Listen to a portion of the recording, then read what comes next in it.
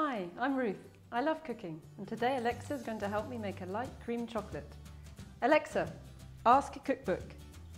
Welcome to your digital cookbook. What recipe are you looking for? I'm looking for a light cream chocolate. I found a recipe called light cream chocolate. Is this okay for you? Yes, it's great. Here are the ingredients 75 centiliter milk, 2 eggs, 100 gram caster sugar, 30 gram of cornstarch, and 30 gram cocoa powder. Tell me when you are ready. I'm ready. Mix all ingredients in the bowl. Tell next to continue.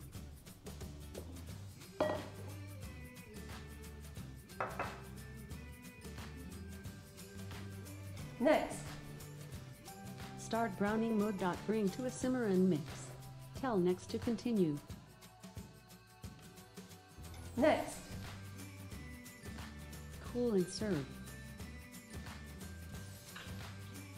I hope you'll love it. thank you, Alexa. It's a pleasure. Goodbye.